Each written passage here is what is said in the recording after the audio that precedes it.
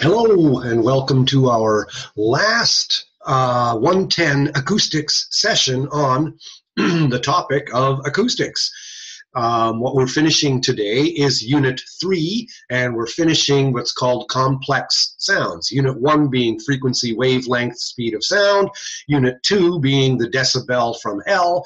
And we spent the last couple of weeks on Unit 3, complex sounds. This finishes Today we finish Unit 3, and your midterm, I, I now know, in 110, is going to be covering Units 1, 2, and 3. And spring break is next week. So there will be no class, of course, next week.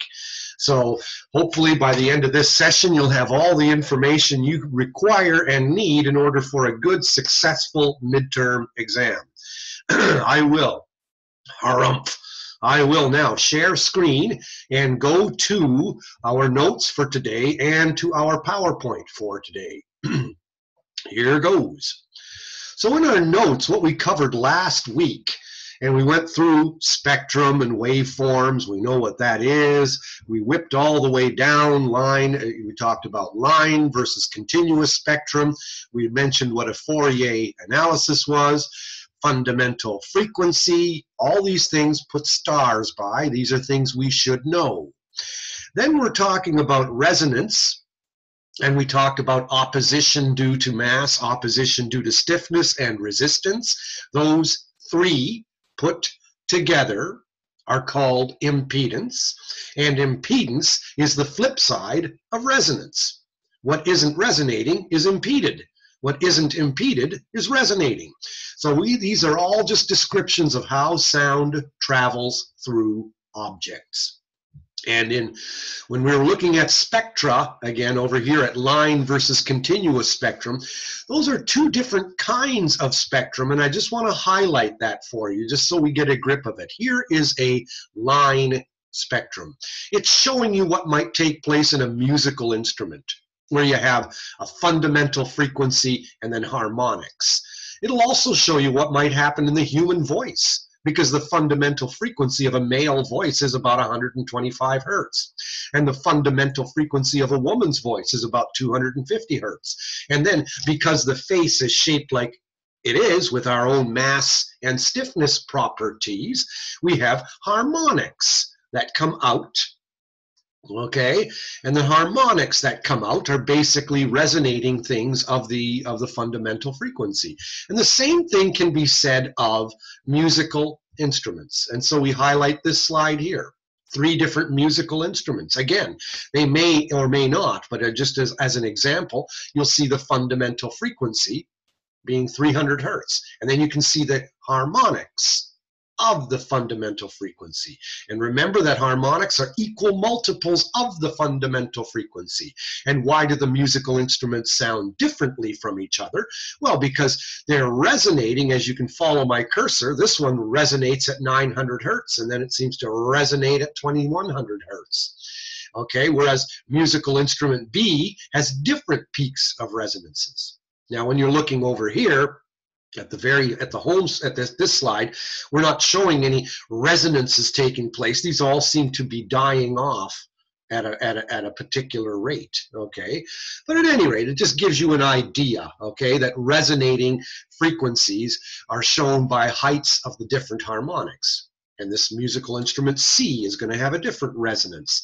And so if you take three different people three different fellas they may have a similar fundamental frequency of the voice, but each guy is going to sound different, his or her, his voice, their voices, because the, the different, the heads are different and the mass and stiffness qualities of Mike's heads are, is different from Jerry's head, which is different from Ted's head. Okay, so you've got these different resonating uh, uh, uh, characteristics, which makes for different sounds of voices. So anyway, looking at our notes here again, so really I would put a star by this one here. You know, when you're looking at this section that I'm highlighting over here, have an idea, therefore. Working our way down, you should know what filters are. Okay, high pass, low pass, band pass, notch, reject. Okay, and then we talked about the properties of noise and know what noise being non periodic, it's not tonal. Its waveform has no repetition quality over time. So when you're looking at noise, the waveform of noises, you see no pattern in that waveform whatsoever. So there's no tonality. I mean, very much unlike when you're looking at sound waves. Look at this bottom one, D okay? I i'm it's formed by the addition of these three frequencies but i can still see a pattern in its waveform. So it's to this is a, a complex sound because it's composed of many frequencies and it's going to have some tonality to it because you can see some rhythm or pattern in the waveform unlike of course this situation here. Back to our notes. All right and then we can talk about waveform versus spectra for broadband noise versus narrow bands of noise. And so we look over here at a different kind of a spectrum. Look at this one here. It's a, a broad band spectrum. It contains all frequencies underneath it, unlike this spectrum, which only contains the particular fundamental frequency and the particular harmonics and nothing in between. So the spectrum here is very different from a, a broad band spectrum here, okay, containing all sounds underneath, not just these harmonics, but everything. Or you can have a spectrum that has little energy in the low frequencies and much more energy in the high frequencies, okay? So look at now, now here's a line spectrum again. Individual harmonics are shown along with the fundamental frequency. Very different kind of spectrum than this one here. If we keep working our way down, here's the spectrum of speech. Now look at all the frequencies it's containing, all kinds of frequencies here. Okay, most energy in the low frequencies and less energy in the high frequencies. It's a broad band sound. Okay, and here is two different spectra. White noise containing all the different frequencies at equal amplitude. So they just simply draw a line across saying it's got everything in there instead of drawing thousands of little lines this way.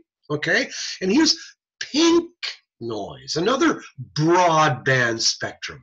But see where it's got most of its energy that noise has most of its energy in the low frequencies, and there's a high frequency drop off that you can see. Okay, and here is so here's the spectrum of speech. Here's pink noise. They have a similarity to them, don't you? Don't you see that? The drop off toward the high frequencies. Now here is three examples of noises: white noise, low pass noise, and broad bandpass noise. So this is a, the waveforms are all on the left, the spectra are on the right. So you've got this this white noise, it's got energy at all the frequencies, and here's its actual spectrum. It's not such a nice clean line like is shown right here, okay? This is just to highlight like a schematic. The reality is, okay, but it's still a broad, flat, spectrum showing fairly similar energy for all frequencies across. Low pass noise, meaning it's another waveform, no, it's no uh, periodicity to it, no pattern, so you know it's noise. Okay, there's no tonality to it, and it's got most energy in the low frequencies and its spectrum, and then a drop off in the high frequencies. And here's a third kind of noise, and it's got a different waveform. Again, there's I don't see a pattern in that waveform, so it's noise. But in this case, when they took a spectral analysis of it, a Fourier analysis, they found that, oh, look at most of its energy it seems to be in, in a band pass area confined to a so this is, would be a narrow band of noise. Now, how does this relate to audiometry? In audiometry, when you're testing people's hearing, you might find a client who has excellent hearing in one ear and terrible hearing in the other ear. Now, your head can only hold so much sound before it spills over to the other side. If I put a ton of sound into my bad ear, by the time I put in about 50 decibels of sound, it's going to cross over to my good ear. If this ear is deaf, By the time I put in 50 decibels into my deaf ear, I'm going to hear the sound because it's crossed my skull to my good ear, to my good cochlea, and I'm going to raise my hand. So what am I going to do? I've got to keep the good ear busy with masking noise. And when I keep that good ear busy with masking noise, then I can find out the true hearing level of the bad ear okay? I'll find out that hey it's actually if i didn't use masking i'd think i had a 50 decibel hearing loss in my bad ear but if i keep masking noise in my good ear to keep it busy i'll find out that 60 decibels is or maybe 70 or maybe 80 maybe this ear has a 90 decibel hearing loss. Whereas if i didn't use masking i'd think it had a 50 decibel hearing loss. And masking noises are either broadband or narrowband Okay, a broadband noise is used when you're masking for loud speech. When I'm doing speech testing and I'm talking loudly into the bad ear, I'm using pink noise because the spectrum of pink noise slopes down just like the spectrum of speech. And speech is a broad band complex sound, so I'm going to use a broad band spectrum sound to mask it. So I will use a broad band sound, and it's specifically pink noise. So none of these, I'll be using a spectrum that looks more like this, because the spectrum of speech is like this. And when I test pure tones, if I put a thousand hertz in the ear, or 2,000 hertz in the bad ear, I'm going to use a narrow band of noise surrounding 2000 hertz. And when I test this bad ear at 1000 hertz, my narrow band of noise, follow my cursor, will be a narrow band of noise surrounding 1000 hertz. And if I test the hearing sensitivity of my bad ear at 4000 hertz, my narrow band of noise, follow my cursor, will surround 4000 hertz. So all the stuff that I'm talking to you about has some relevance to clinical reality, and you will find this in audiometry. So when you're starting to take that course. All right, we keep moving to the, now we got to where we left off last week, and we went all the way to what we call beats.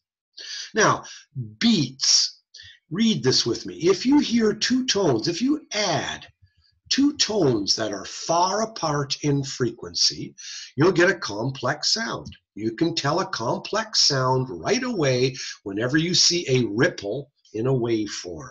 Hmm, what does that mean? Well, look at here. Look at this. Kind of a jagged waveform, but I still see a pattern in it. Okay? We'll go look at another sound wave, and I'll give you an example of what I'm talking about here. Let's see. Well, let's go over to hmm, here. Look at that bottom wave. Look at wave number four. It's made from the addition of this wave plus this one plus this one plus this one, and you can see the spectra here, here, here, and here.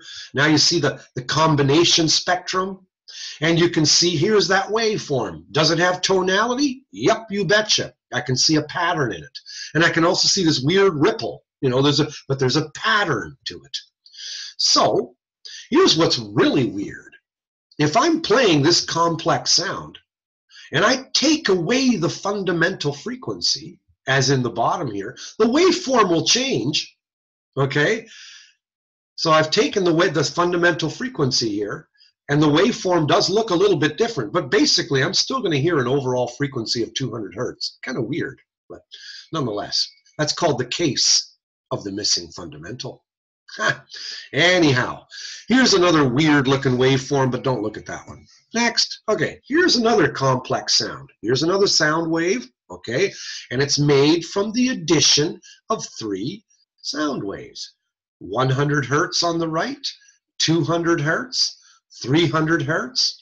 And look at the black dots now. Look at A. Follow my cursor down. In wave, the top wave, the wave is condensed. In the middle wave, you're getting it right at zero degrees phase. And at the bottom wave, I'm at a rarefacted phase. And when you add those three up together, you got nothing. okay? Because you have condensed, rarefacted. We said when you add that together, you have the sound of one hand clapping. They've canceled each other out. And when you're adding nada to it, you got nothing. So that's why the wave is right there. And look at B now. It's rarefacted here. It's nothing. It's condensed. And once again, you're basically at about nothing. And look at C. You're condensed. You're nothing. You're rarefacted again. And looky, looky. There you are. Okay? So the combinations make things happen. But if you if you were like having a situation where the waves were all condensed at one time, you get a big thing. Now let me just describe this to you. Have you ever sat on a bus and watched the windshield wipers on a bus? You're on a city bus. I don't know why they do this, but the windshield wipers in your car, they stay doing this. But for some reason on buses, one motor is a little bit faster than the other motor. And So you'll start to see this. And then finally they're opposite. They're doing this. And then finally they'll fall out of that pattern and eventually they'll be doing this completely. Just for a while though. And all of a sudden they'll and I like to watch that. It's really weird. It's because one's going a little bit faster than the other. And what's happening is there will be a time when they're completely in phase, and there will be another time when they're completely out of phase. All right? Now, this is what I mean by beats. If you play a 1000 hertz tone and a 1001 hertz tone, the, the, the connection of their being in phase and being out of phase. That's going to happen once a second. So what you're going to hear if you play a 1000 hertz tone and a 1001 hertz tone, you're going to hear one beat per second. Whoa, whoa, whoa, whoa, whoa. If you play a 1000 hertz tone and a 1002 hertz tone, you're going to hear two beats a second. Whoa, whoa, whoa, whoa, whoa, whoa, whoa. You play a 1000 hertz tone and a 1005 hertz tone, you're going to hear whoa, whoa, whoa, whoa, whoa, five beats a second. Yeah, yeah, yeah, yeah, yeah, yeah, okay? Until they get further apart and further apart, and all of a sudden you're going to think, you say, I hear two separate tones. Huh, I actually hear two different frequencies. But if they're really close together, I won't really hear. My, my system, my hearing system can't resolve it.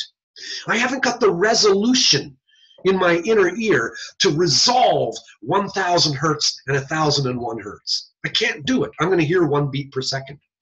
It's only when they get to be further apart that I'll begin to hear, oh, there's actually two beats per second, or not, not, not two beats, there's actually two different frequencies. Okay? So when they're close together, I can't resolve it. Think about looking at a fluorescent light. Did you know that when you look at a fluorescent light, it's blinking 60 times a second? It's going on and off 50 times a second. Your eyes can't see that though. You haven't got the ability to resolve that. So it just looks like the light is on. Okay?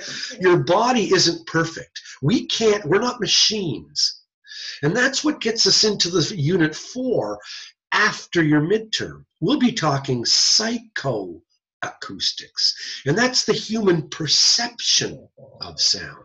That's where you're starting to move away from just the physics of sound and you're looking into, hmm, instead of talking about the intensity, we'll be saying, how loud was it?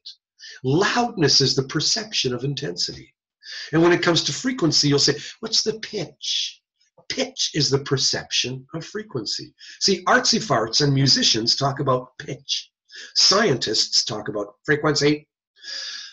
Okay, the artsy people talk about, oh, that was loud. The scientist says that was very intense. Okay, so there's the objective and the subject. Anyway, enough on that. We'll talk more about that next week, or I should say in two weeks' time. That's psychoacoustics, what beats. Okay, so let's go to this next slide and have a look here. Here's a sound wave. It's a complex wave, and the frequencies are far apart. You can see on the spectrum. So you'll hear two separate tones. But here, look at this spectrum. The, the frequencies are really close together. And see, you can see a time when they're completely in phase and then out of phase, and then in phase and then out of phase. And so the waveform will be going wow, wow, wow, wow. So if it's a 1000 hertz tone and a 1001 hertz tone, this bubble is going to happen one time a second. If it's a 1000 hertz tone and a 1002 hertz tone, you're going to have two of these bubbles happening per second. Remember, time is on the horizontal and amplitude is on the vertical when you're looking at a waveform. Now here's a weird looking wave, and it's called a sawtooth wave. It looks just like a ding dong sawtooth. All right, look at that. Now that's a unique type of complex wave because it too is made from an addition of, of, of, of simple sinusoids according to a certain rule. And the rule has to be very held completely tight. You can't change the rule. The sound wave that has to be some frequency on the top, and then the second frequency has to decrease in amplitude by a certain amount, and it's got to be double the frequency. And then this wave here, okay, it's got to be higher in frequency again, and it has to be smaller in intensity yet. And when you start adding wave one and two, and then one, two, and three, you can see here, complex made out of this one, plus this one, plus this one. Complex wave one is made out of this wave and this wave. Complex wave two is made out of the all three together. And complex wave here, that's made out of a whole bunch of, of complex sounds that are following this rule on the left. Weird. And here's what the rule is. If my fundamental frequency is 100 hertz, I've got to start adding equal multiples of that fundamental, and they have to drop off at a certain dB per octave rate. And then I will get a sawtooth wave. Hmm. Look at this one, a square wave. If I have a sound wave on the top here, and I add another one and add another one according to a different set of rules. My complex wave here on the top, complex one is made from the addition of this simple wave and this simple wave. And this complex wave, C2, is made out of the addition of the this simple one, this one, and this one. And now you can start to see the wave is starting to look square. And this complex wave is made from the addition of all four of these guys. And so you're really starting to see the square. And the bottom one is saying, let's just do that ad, ad nauseum. Let's just keep on following that rule. What rule would that be? Well, look at this. Here's your fundamental frequency, but you're not adding the next harmonic. You're skipping it. You're adding the second harmonic. And then you're skipping the next one, you're adding the next harmonic. And you're skipping this one and you're adding the next one. And your dB per octave drop off follows a certain rule again. Look at this one. This is a triangular wave. Triangular wave. And it's made by adding together, again, really dropping off your energy at a certain rate, but you're doing every other harmonic. Now notice here, the drop off here is less than the drop off here. Okay, so you're getting a different kind of wave again. I'm just giving you an example of three different weird looking complex waves, a sawtooth, a square, and a triangular. But obviously, we don't walk around hearing those kind of sounds all the time. They don't sound so weird. They're just kind of weird looking waves. Okay, so here's a adding sinusoids together to make a triangular wave. Adding sinusoids together to get a sawtooth wave. Adding, look at this, you're looking at the spectrum and the spectrum. See the drop-off rate in this case is the same in terms of intensity, but here you're adding all the harmonics, and here you're skipping one. In this case, you'll get a sawtooth, and in this wave, you'll get a square. Doo -doo -doo all right, and here's another shot showing you a whole bunch of weird looking complex waves. So on the top is your simple sinusoid. Whoa, don't want that one. Simple sinusoid. And it's got one frequency. And on a spectrum, one frequency. Don't worry about this whole phase spectrum stuff. I couldn't care less. Leave it. Just, just drop it. Look at sawtooth. You made that wave by adding a fundamental and then all the harmonics at a certain drop-off rate. And a square wave, same thing as the sawtooth, except you avoided every other harmonic. And then the triangular wave, you also avoided every other harmonic, but the drop-off rate was more than the square. Now, please don't think you need to memorize this, okay? I couldn't care less if you memorize this or not. That's not the issue, okay? So you're going to see these waves described at the bottom of page two here, and you'll just see it. Square wave, triangular, sawtooth. But now look at the speech waveform. I'd put a star by that puppy because your speech waveform is kind of like a combination of a sawtooth wave and a triangular wave. And your face, okay, faces act like horns. And they're going to resonate with certain frequencies, essentially. The horn of your mouth has a radiation effect. Now, what does Sam Hill do I mean by that? Well, let me get a piece of paper here. because the drop off rate of the speech spectrum from the larynx would be pretty steep, about 12 decibels per octave. But if I roll up a horn, and if I talk into the wide end of a horn, you just hear the low pitches. But if I talk into the small end of a horn, now you hear the high pitches. Well, in a weird way, your face is like a horn. And it increases the high frequencies. And it increases it at plus 6 dB per octave instead of dropping. So the steep 12 dB per octave drop off from the larynx is offset by the radiation effect of your face as a horn because your mouth is wider than your larynx. And therefore, minus 12 or 12 drop off per octave, add 6 to that, now your drop off is minus 6. So that's pink noise, the drop off per octave. So that's the that's what makes the speech spectrum have its particular slope. All right, share screen again here. Let's look at our notes and see where we are. We're at the bottom of page two. It's time to wind this topic to a close. Speech as a complex sound.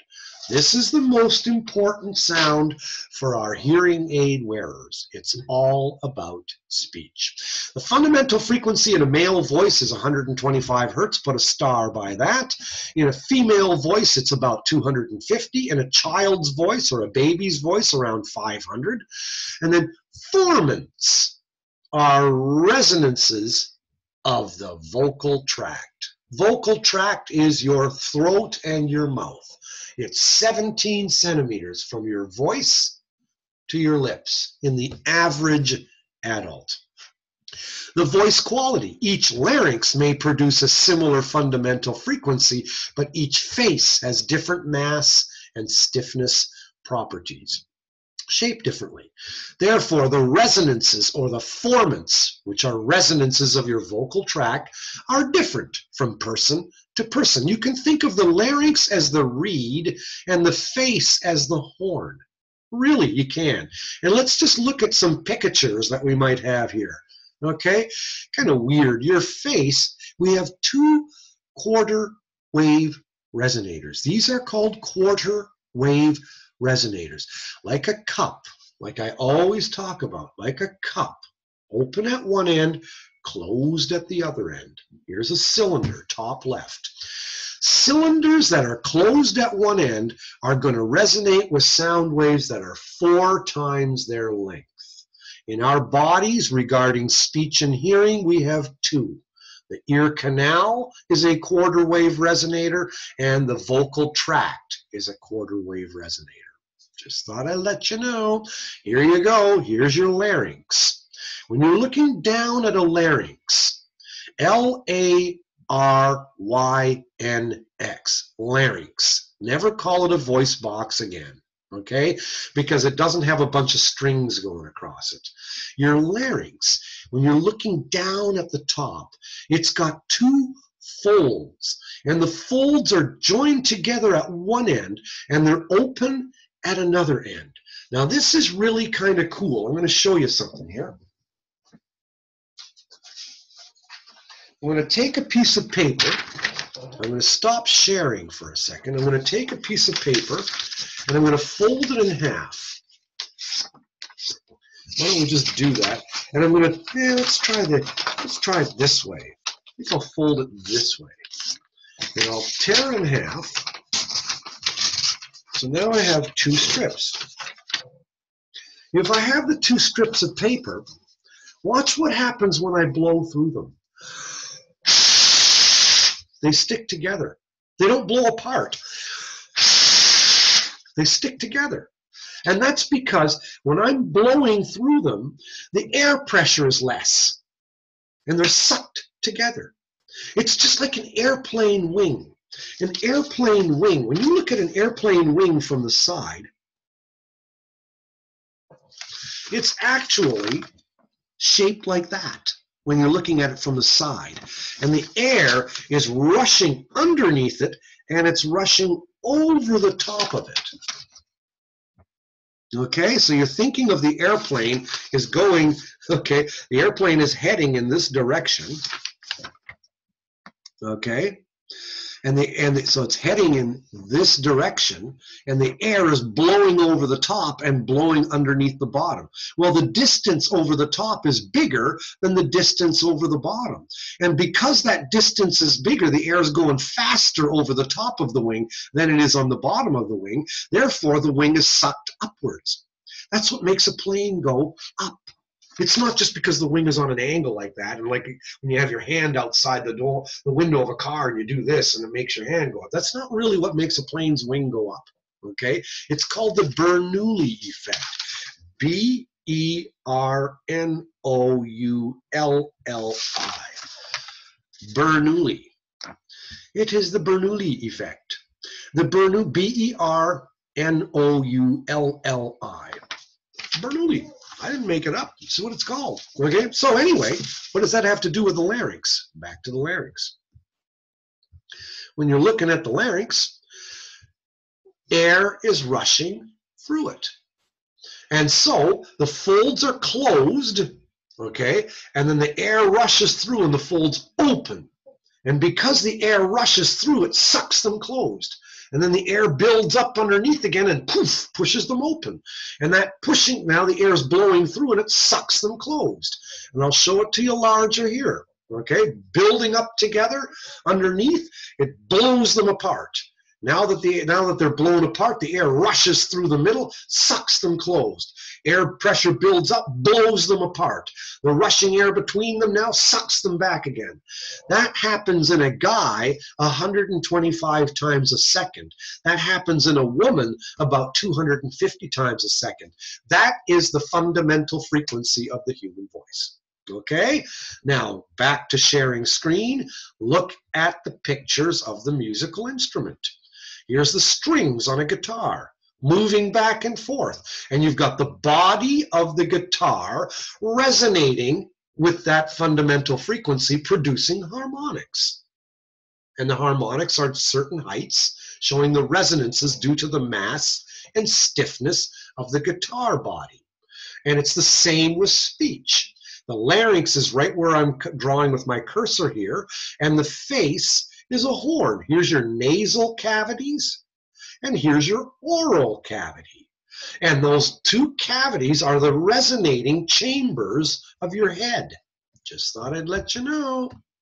So here's your vocal folds in operation over time. Blown open and closing and then blowing open again. Boom. Successive time frames are illustrated from left to right. I'm showing you a close-up the larynx, vocal folds, that's what they call them, vocal folds. These are your vocal folds. And you have two, and they're blowing open and slamming shut. Blowing open, slamming shut. Many, many times per second. This is a picture showing you the waveform of the human voice, much like a kind of like a triangular wave, and then a bit like a sawtooth in a weird way. Here's your vocal folds closed. Here they are blowing open. Okay? And this is just a complicated picture showing you the waveforms over time and the spectra of the human voice. And it drops off at about 12 dB per octave, but due to the horn effect of the face, that cancels out. So the drop off is kind of like my cursor going like this. Pink noise. Pink. Here's just showing you more spectra. Okay, here's the drop off rate. Anyway, boring. Uh, let's see, carry on. Oh, yeah, let's look at the outer ear. But before we do that, let's make sure we've got this stuff down. Here, look at your vowels. This is from last week and the week before. Make sure you circle this and really make it your friend. Okay, honestly. Vowels on the left, unvoiced consonants on the right, and a mixture in between. And I'm going to highlight that and bring it even closer so you really see it. Okay? Because this is really important to grasp. Vowels are, here's your A, E, I, O, U. Okay? They're periodic, they're tonal, they're low frequency. When you look at the opposite end, unvoiced consonants, F, S, P, T, C, H, K. Say these. S, P, T, Ch, K. Unvoiced. They are non periodic. They are noises. They are high frequency. So the noises in speech are mostly high frequency. Now look at the middle column. V. That's just an F with a voice. Look at the letter S. S, S. Now put a voice in it. Z, Z. You have a Z. Look at P, P as in Peter, P, or Paul. P. Put a voice in P. Ball. Paul, ball. B, B is a voiced P. And when you look at T, t Ted, Ted, put a D in it, voice in T, in the T. Dead, dead, Ted, dead. Ted is dead. okay. T, t, put a voice in a T, D, D. CH, church, church. Okay. Put a voice in ch, j, j, judge. J, ch, ch, j. Take a K, k, k, put a voice in it.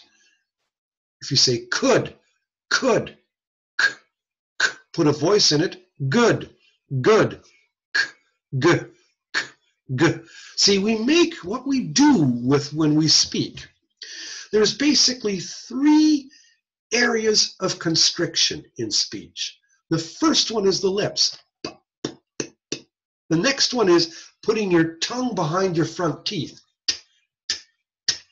Okay, further back. The front is the lips, and then in the middle. And then the back, the back of your tongue against the roof of your mouth. Okay, so front, middle, back. And they call that in speech pathology the diadochokinesis. Kinesis. It's the putika, putika, front, middle, back front, middle, back, front, middle, back. That's why the nursery rhyme, patty cake, patty cake, pa-ta-ta, is good for kids. Teaches them articulation, teaches them speaking. Okay? P- patty cake, patty cake, baker's man, patika, patika, front, middle, back, front, middle, back. So when you but that's speech pathology. They study that at MSU. Don't worry about it. Here's what we're talking about. Hearing aids are as dumb as a stick. Okay, they are amplifiers on the ear. And they don't understand language, they just understand acoustics. Okay, sounds. They just process sounds. They amplify sounds. So what we're doing in this lesson today is we're not looking at the meaning of speech. We're looking simply at the acoustics of speech, sheerly the acoustics. And that's why we're breaking it down into voiced sounds, unvoiced sounds, voiced sounds on the left that are periodic, tonal, low frequency, unvoiced sounds that are noise, non-periodic, and high frequency, and then sounds in the middle. So, and then you can have front, middle, back. P and B are front sounds, lip sounds. T and D are behind the front teeth, middle ones. Okay? And then G, K, and G are ones that are way back. So, and then you have combinations of them. You have ch, sh, and all the. So, and anyways, the now that's just breaking down speech into its acoustics. And most of the energy of speech, and as we go back here, I'm going to look it over here, the energy of speech is mostly vowels, low frequency tonal sounds would be here. High frequency consonants would be here. They are softer. Okay, you can see there's less energy here. And in the middle would be the voiced consonants. So your A, E, I, O, U are louder and lower. Okay, L and L, that's how you should think of them, loud and low. High frequency consonants are high pitched and soft. So what happens with hearing loss? You can't hear soft sounds. So what's the first sounds you miss? The high frequency consonants. And think of the words hat, sat, bat, cat. They all have a, a, a. I mean, let's face it. You have five vowels in the English language, and you have thousands of words, and every English word has a vowel. There's not one single word out there without a vowel. So all our thousands of words have to share five vowels. So vowels don't tell you jack about what the word was. Vowels just pick up speech and throw it across the street. Vowels just carry the energy. Vowels are the loud part of speech. It's the soft consonants that tell you what the word is. Did they say dishes or fishes? Kittens or mittens? Okay? Hat, fat, cat, bat, sat. It's the that tells you what the word is. This is the acoustics of speech, and it is the reason why elderly people say young people mumble. It's because they've got trouble hearing treble. They can't hear the high frequencies of speech.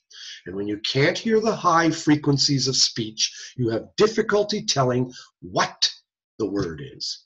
And that's why hearing aids need to take that frown, okay, hearing aids need to take that frown of not being able to hear the high pitches and they have to turn that frown upside down with hearing aids that literally do emphasize the high frequencies. And we'll be coming back to horns because actually horns have been used in hearing aids. Tiny little ones. Okay, they increase high frequencies. But we also do it digitally, of course. Hearing aids are digital today. So at any rate, let's finish this topic. So we'll go to our notes here and now look at the vocal tract as a quarter wave resonator. Okay, the vocal tract or even the ear as a quarter wave resonator. Both of them are cylinders and both are closed at one end. So here you go. All right. How long is your ear canal? About one inch long. So what is it going to resonate with? Sound waves four times that length, four inches. Okay. How long is, is four inches? About a third of a foot. Well, remember your formulas from unit one. I'll draw it for you. Frequency equals wavelength or equals speed of sound over wavelength. Let me just make sure I've written this nice and then I'll show it to you here so you can just see it. Okay. Speed of sound over wavelength. Okay, frequency equals speed of sound over wavelength. And we also said wavelength equals speed of sound over frequency. Okay, it's just like saying uh, ten, uh, uh, 5 is equal to 10 over 2, or it could be said that 2 is equal to 10 over 5. Same thing. Okay? Same thing. I'll show it to you all here. It's the same thing. You're just flipping things around. Now hold that truth down, okay? Because now we're going to talk about the way the quarter wave resonator of the ear canal and the quarter wave resonator of your voice. So first the quarter wave resonator of your ear canal. Frequency, what frequency is it going to resonate? Sound waves that are four times its length, four inches long. What's the speed of sound in air? 1130 feet per second. Okay, so and, and over Okay, so, so the frequency is speed of sound over the wavelength. 1130 feet per second divided by four inches. But you can't talk apples and oranges. You have to change inches into feet. So four inches is a third of a foot. So take 1130 feet per second divided by 0.3. And you do the math. I'll do that in a second here. 1130 feet per second divided by 0.3.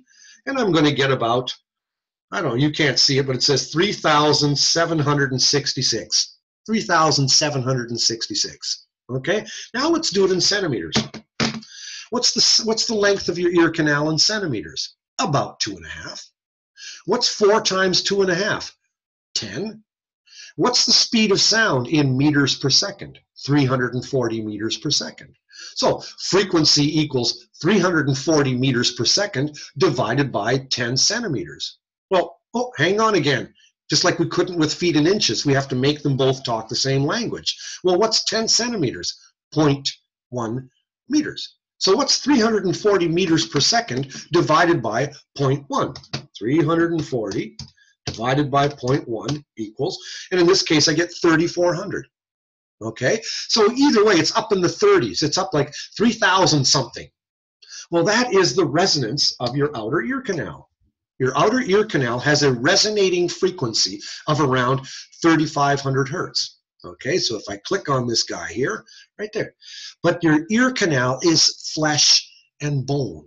And so that resonance is spread because your ear canal is not a cup. Okay? It's not made out of glass. It's not made out of steel. So it would normally resonate at around 3,500 hertz 3,400, something like that. But that resonance is spread. And look where it's spread. Right over top, that's a comp of the high frequency consonants. Here's an audiogram. Here's how we test hearing. Okay? 125 hertz, 250, 500, 1, 2, 4, and 8. Seven, seven octave frequencies and look at the letters of speech, all the voiced sounds Z, V, J, M, D, B, Z, V, and all your vowels A, E, I, O, U are louder and lower. And now look at ch, ch, k, f, s. They're higher and they're softer. And some of these high pitched sounds are turbulent like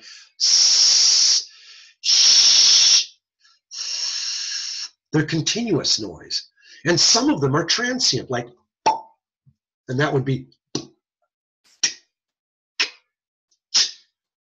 But either way, they're non tonal, they're non periodic, they're high up in frequency.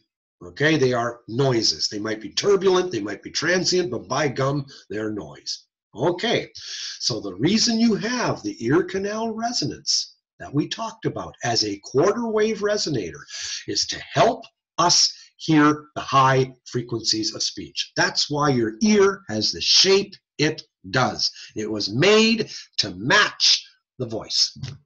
Okay, but when you've got hearing loss, look at the X's and O's. This person has good hearing in the low frequencies and poorer hearing in the highs. So now this resonance isn't enough to help him hear those high frequency sounds. So now he needs hearing aids to amplify the treble sounds. Essentially, that's the general gist and finish of this whole slideshow. But let's end on a comical note here. Let's look at speech. Screening has screen sharing has stopped the, as the shared window has closed. Well, why not? Let's just do this now. Let's just share a screen. Back to your notes, and let's look at why helium speech. Why, when you breathe a helium balloon, how come your speech gets higher? Doo doo doo doo. Breathe a helium balloon. Okay, and now you talking really high up in pitch, and it lasts only a few seconds and then it's gone again. Well, your vocal tract is a quarter wave resonator. Frequencies four times the length are going to make it resonate. So, Helium speech. Why does helium make your voice sound higher? Well, the length of your resonating vocal tract is 17 centimeters. What's 4 times 17? 68 centimeters. What's 68 centimeters? 0.68 meters. Frequency equals wavelength over the, or speed of sound over the wavelength. Wavelength equals speed of sound over the frequency. Here we have the wavelength, 0.68 and, you're, want, you're wanting to know the frequency. So, okay, wavelength equals speed of sound over the frequency, or frequency equals speed of sound over the wavelength. I could have put, you know, this formula a different way, but just look at it here, okay? So, wavelength is speed of sound over frequency, and that's x. That's what you're trying to find. So simply cross multiply. 1 times 340, 340 divided by 0.68 will give you x. Just like 5 over 1 is equal to 10 over 2. You're just flipping things around. So speed of sound in air is 340 meters per second. 340 meters per second divided by 0.68 is about 500 hertz. Okay, that would be a resonating frequency of your vocal tract with air because your voice is, your vocal tract is a quarter wave resonator. Well, now breathe in helium. And when you breathe in helium, okay, speed helium has less density than air. Helium is a lighter gas. And the speed of sound is goes slower through more dense objects. So it's going to go faster through helium. So helium has a sound, a speed of sound is 920 meters per second. So now 920 meters per second divided by 0.68. And now you're getting 1362 hertz. Okay, so that's why your voice gets higher with helium. The speed of sound is faster through helium than it is through air. And wavelength is speed of sound divided by frequency. Frequency is speed of sound divided by wavelength. So and if I pull this back a little bit and make it smaller here, one could have done this. I could have just simply said, I could have done, uh, I think I'll draw it this way, frequency equals 340 meters per second over the wavelength. And that would be frequency equals 340 meters per second over 0.68. I'll show it to you here. Okay. Just showing it to you another way. So if the wavelength is 0.68, take 340 meters per second divided by 0.68 and you'll get around 500 hertz. All right, what happens now? Frequency equals 340 meters per, per second over the wavelength. And now we'll, we're going to say, you know, 340 meters. Now we're going to say 927 meters per second because it's helium over 0.68. Okay, now that you got 927 meters per second instead of 340 meters per second divided by 0.68, now you end up with a much higher frequency. And that is why your voice gets higher on helium.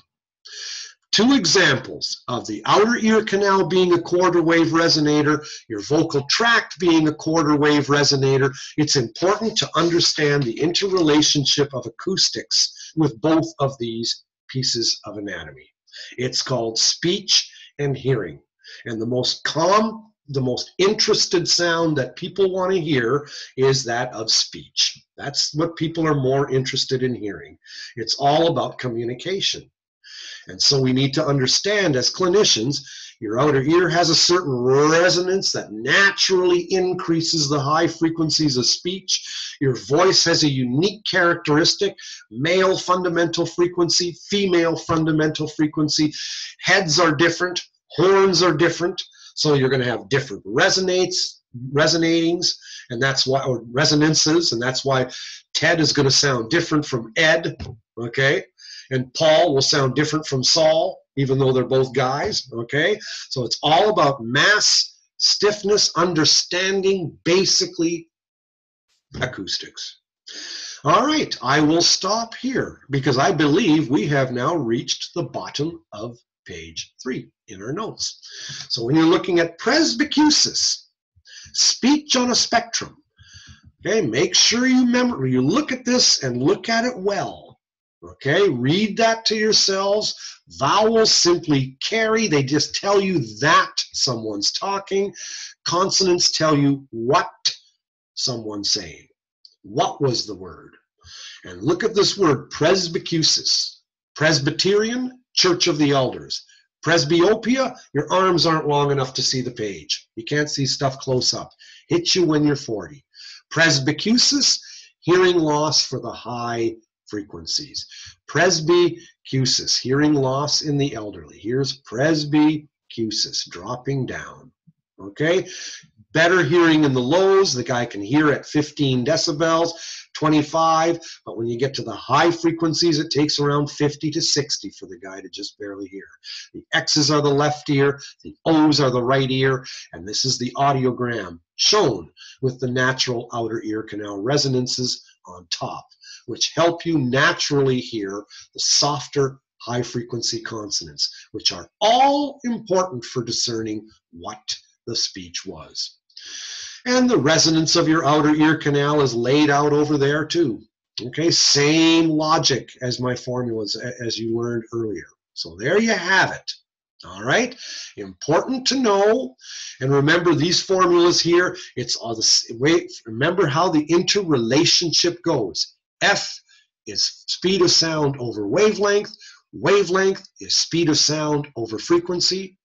And just realize they can just be flipped around. You can figure out the answer from either formula, does not matter. They're both the same thing.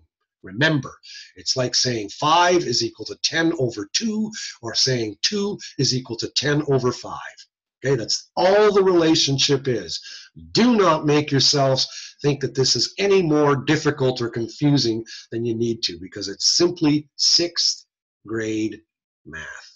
Anyway, we are done. We have concentrated on looking at speech, the most important complex sound that we want to hear. All right, have a good midterm break or a mid uh, a spring break or whatever and uh, take your midterm exam. I believe lynn royer has said that it is actually not proctored after all. If you look at your canvas or look at your announcements or your notes i should say your emails i got an email to that effect so be sure to check it okay? Write the midterm earlier rather than later so that you can enjoy spring break all right, I will stop sharing. I will say adios. I will stop recording and I will talk to you in two weeks' time. All right, live long and prosper.